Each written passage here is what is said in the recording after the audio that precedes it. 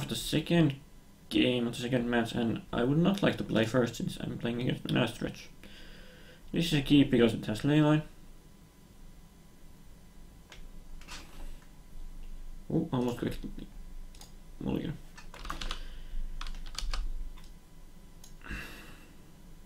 So I don't know what the mana stretch lists run these days, but usually they lose to leyline.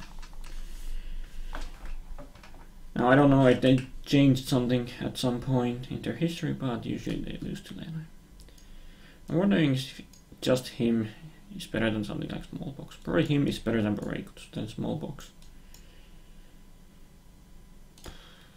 So, leyline.